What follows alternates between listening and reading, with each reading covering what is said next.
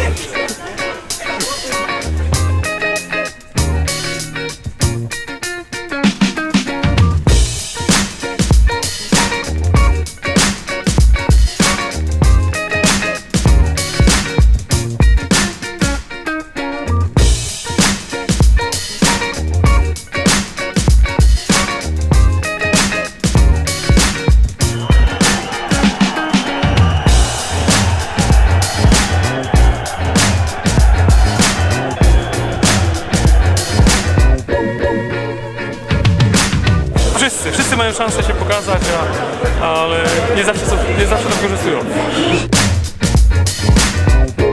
Ja właśnie nie mam broni, dlatego muszę drapieżnie wyglądać tylko.